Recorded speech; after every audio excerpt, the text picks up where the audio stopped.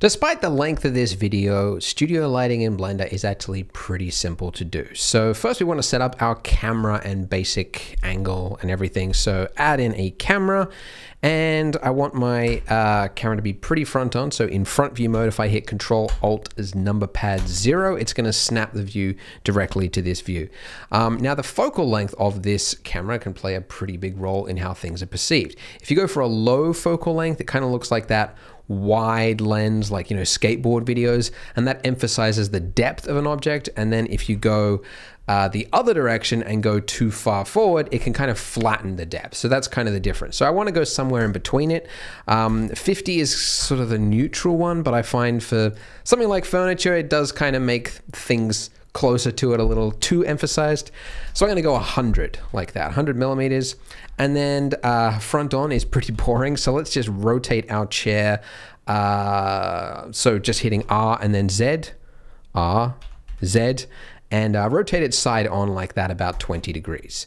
All right. And then I want the camera up so that I can just see like the top of the seat here. And uh, if I was to rotate the camera and you know do it down like this, that that's okay. But it can also create kind of like a bit of a bar not bar is it barrel distortion? No it's like perspective distortion.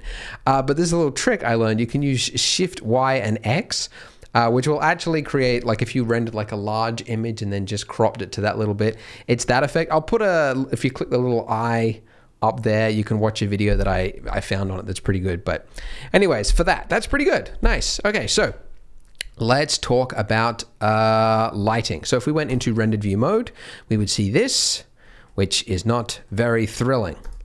Uh, why can't I? Oh, there we go. Uh, so it does have some light, and that is because the world uh, has a default gray color to it. So I actually want to turn that off, just set the strength to zero so that all my lighting is going to come from lights in the scene. So let's add in our first lamp. So Shift A, go light, point lamp, like so.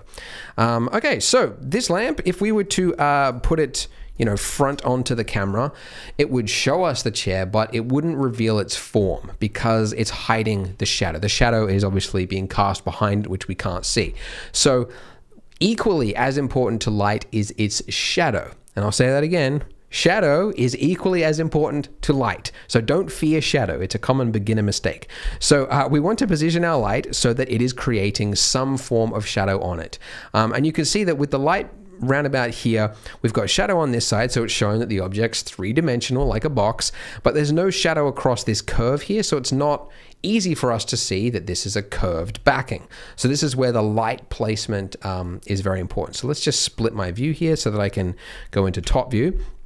Now, if I was to move my light a little bit to the side, um, you can see we're starting to get some shadow there. Now let me, now that we're doing this, uh, increase the light brightness.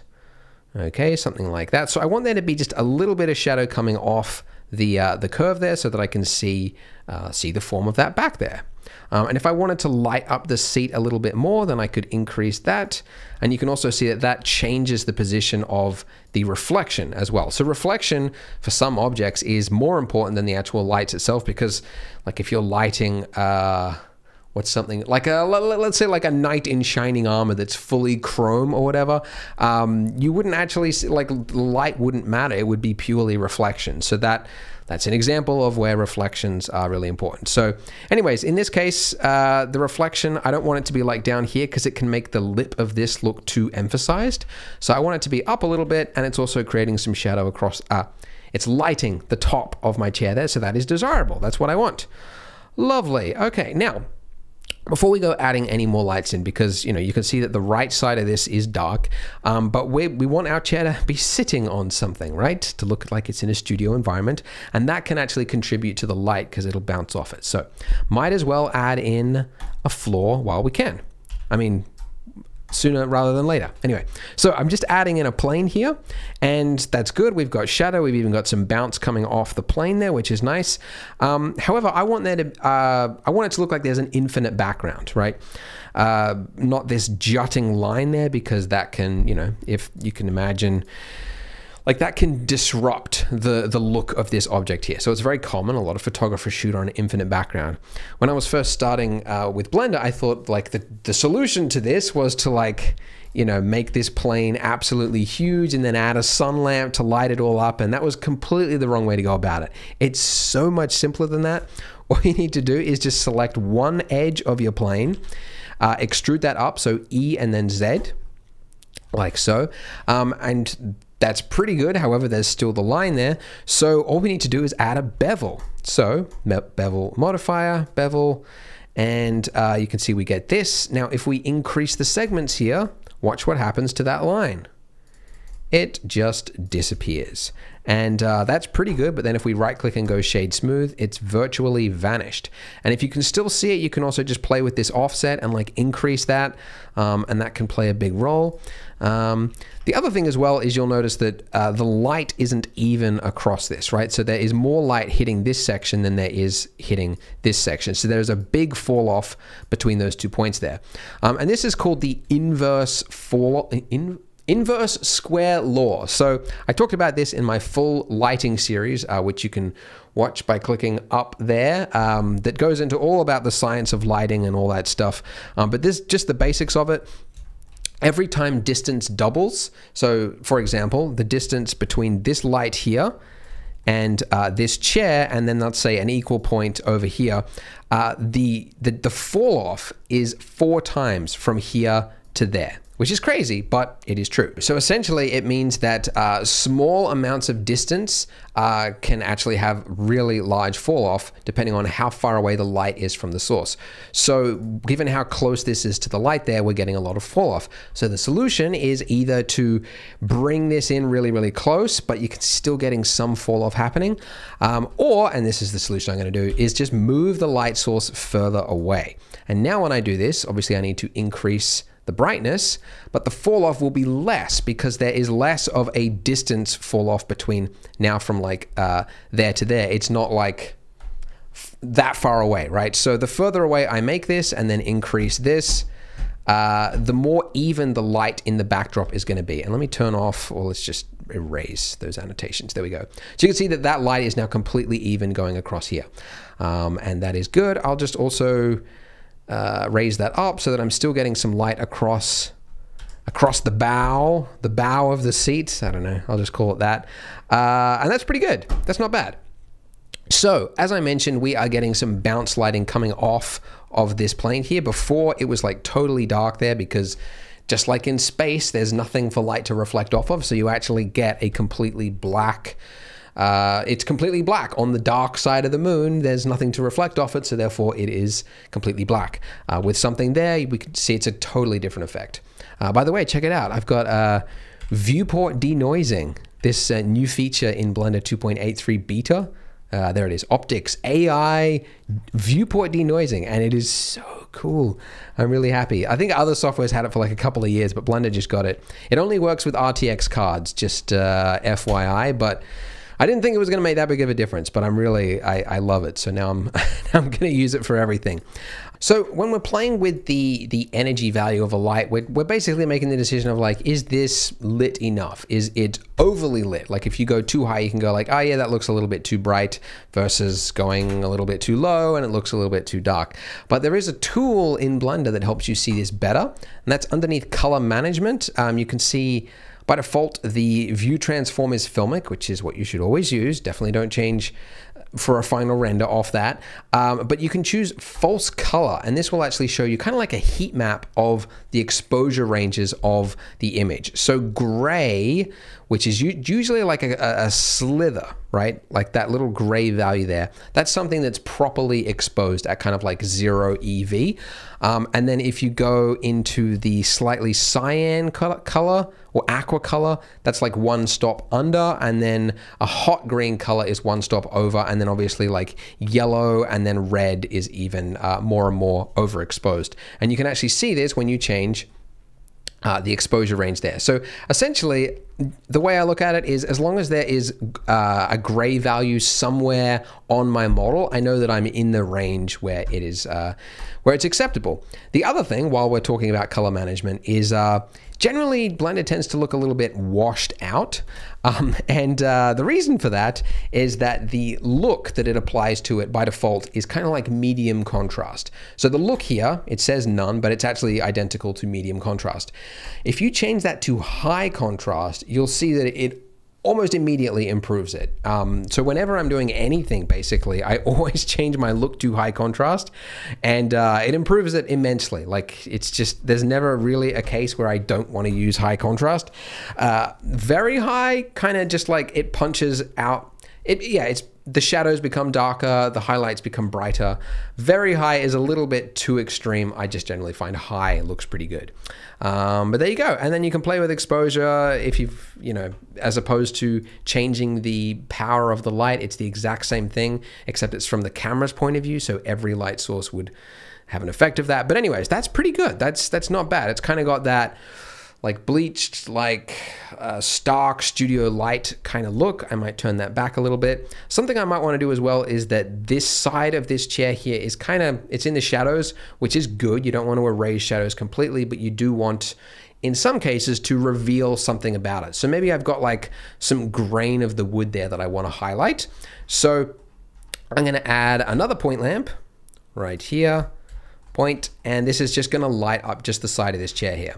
So you never wanna just add in lights, you always want there to be a purpose. So make sure you get into the habit of like, why am I adding a light? Like there has to be a reason for it.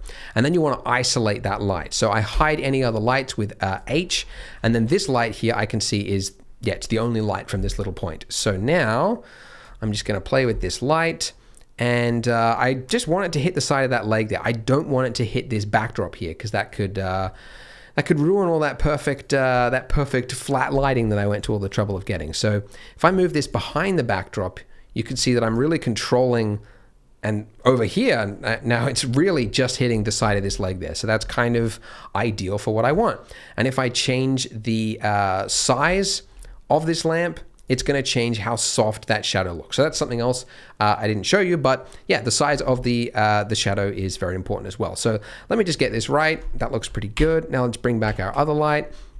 You can also, a common trick is to make one light source uh, a different color, like you could make it blue and that's it's okay but it can kind of start to look a little bit urban you know like if you go like sort of like hot pinks or anything. You know that look it's kind of like like if this was an outdoor furniture perhaps like a park bench or something that might be what you want but it, it tends to things look a little bit funky. It can be done creatively yes but there, I've got a whole video on lighting color if you want to delve into that. But generally, if you stick to white, um, or at least if you're going to go into color, like keep it to warm or cool, those are the natural tones according to the black body temperature. Uh, but anyways, I might just go slightly cool like that just to make it a little bit interesting, but not in your face. Uh, so quickly, the the size of the shadow, right? So if you look at uh, the shadow coming off this leg here, the size of this lamp source here is being decided by, or it's being shown by the size of uh, this circle around it. So as I change the size here, it's changing that. And that is, you can imagine it like it's a ball of light. And if you were to put a mirror there, you would see that Blender renders that as if it is a solid ball of light. So the larger you make this, just like when you've got an overcast sky, when it's like lighting up a whole cloud, um, the shadows become softer and softer, right?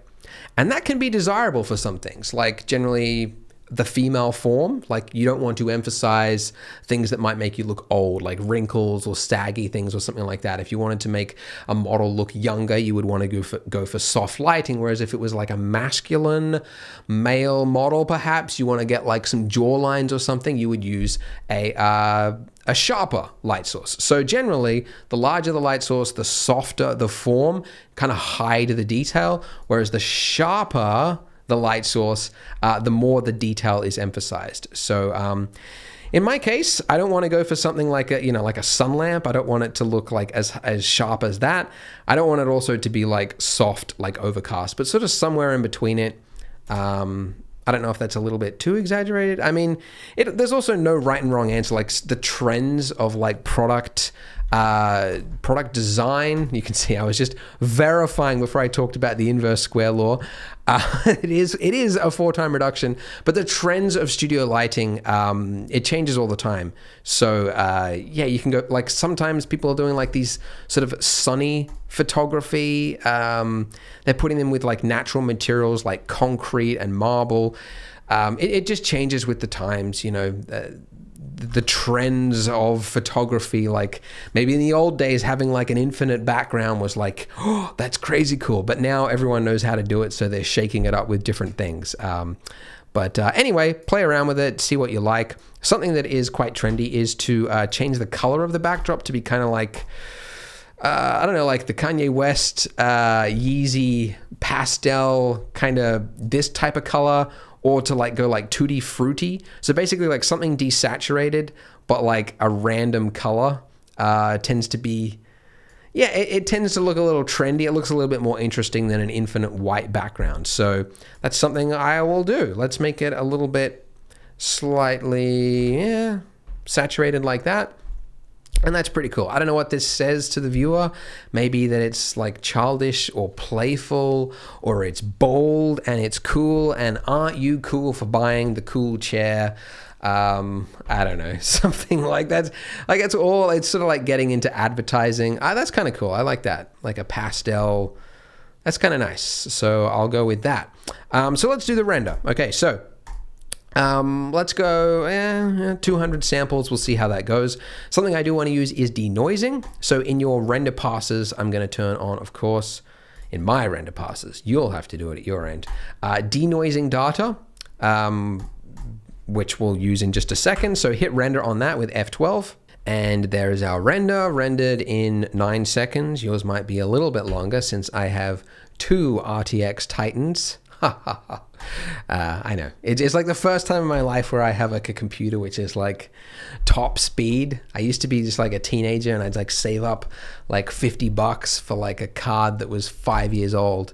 And now NVIDIA's given me two of the best cards. And I'm, uh, I'm, I'm very happy. Anyways, so denoiser. Uh, it's underneath filter, denoise. So you add this in, then you go noisy data, uh, normal, and then albedo. I wish there was just a checkbox that just built it into the render, but for now it's like a separate node, which is a little bit annoying. But now that cleans up the render, right? So this was this was what it looked like before with a little bit of noise there, and then when you put this through it, uh, it just cleans it up magically, um, which is which is great. That's what we want. Okay, now something else as well is that. Uh, so oftentimes you have so much bounce lighting going on that there isn't as much shadow in the corners of objects as there should be. So for example, like maybe right in here or up here, it can be a little bit brighter than it should be in real life. So something to counter that is ambient occlusion. So if you go into your world properties, you'll see there is a tab here called ambient occlusion. But I don't want you to check the box because if you do that, it'll build it in and it'll like brighten stuff up as well. You want to leave it unchecked, but the distance there is important. Distance is like how much, how far should it look for an object which is close in order to create extra shadow. 10 meters is insane. I have no idea why that's the why that is the default value unless you were making like a city block scene and you needed the different buildings to bounce like ah, it's crazy high i'm going to go for 20 centimeters uh, or 0.2 meters and then rather than checking the box if you go to your render passes and then enable ambient occlusion uh, you need to give it another render, and there we go. It shouldn't have increased the render time at all, really, although it has by uh, half a second or whatever, it doesn't matter. Um, if we uh, preview what this is by Control Shift left clicking until it shows AO, you can see that this, oh, hang on, Alt V, no, Alt V, zoom in there. It's uh, that's what it's doing. It's just adding in extra shadow where there might logically be some. So even like the top, like underside of this chair, it's adding a little bit of shadow on the top of uh, the top of that slat there. So now to combine a uh, almost purely white map, but with slight amounts of darkness to it. You go into, yeah, before your denoise pass, because I guess there would be samples in there. And if we add in a color mix node, drop this in here, So make sure a noisy image is going into the top input. The bottom input we want to be the ambient occlusion. And then if we look at this, you'll see that it's just going to show us the ambient occlusion. But if we set this to multiply, it's only going to use the dark values and it's going to ignore the white values. So this is it with nothing, right? So that if we, oh, actually that, that is a really big difference. So this is with nothing. This is with it turned up to maximum. So it adds like a lot of extra shadow in there. So generally I just sort of choose a value which feels nice. So somewhere around about like a 0.4 can look kind of nice, somewhere 30, 40%.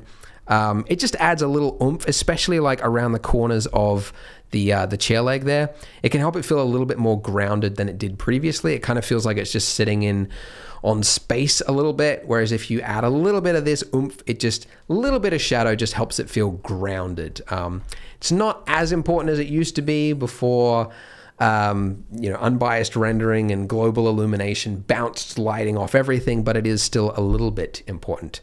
Uh, and finally, because a lot of people were asking how I did the turntable animation, it's so easy that I can throw it in here without ballooning the uh, length of this tutorial. Um, right where my seat is, right there, place my cursor there, and then I'm gonna go Shift A, add in an empty, and this is gonna be the pivot point for my camera. So I take my camera and then I parent it to this empty, Control P, keep transform. And now you can see that as I rotate this empty, my camera is rotating around it like it is on a circle, like a, a, circle. We used to, I don't know why I did it years ago, but like whenever I used to do this, I made like a Bezier circle and then I added a transform to look at it and it was like a lot of work. And now I realize like, why did I do all that? You can just add an empty and then rotate the empty. So anyways, then if you, uh, I've hidden my timeline, but we'll bring it back, timeline. Uh, let's go 100 frames, home, and then go to the first frame. And if we add a keyframe here, rotation, and then if we go to the last frame, um, actually I want my animation to end there. So let's do the inverse of that. Well, let's add a keyframe there and then go to the first frame and then let's make the camera over here. So R and then Z to rotate my empty around it to where I want it to start. And then I'll go I rotation. And now if you play it back, you should see that it pans around, but you can see it like eases into it because it's using Bezier. Uh, it's like ramping up, speeding up, and then slowing down. So rather than that, if you just right click with these keyframes uh, selected and then just go uh, interpolation mode linear, now you shouldn't see any uh, any fall off, any uh, Bezier effect. It should be like a constant, something like that. And then we'll just do a render, animate the whole thing. So there you go. Our final uh, animation didn't take too long and uh, looks pretty nice for a minimal amount of work.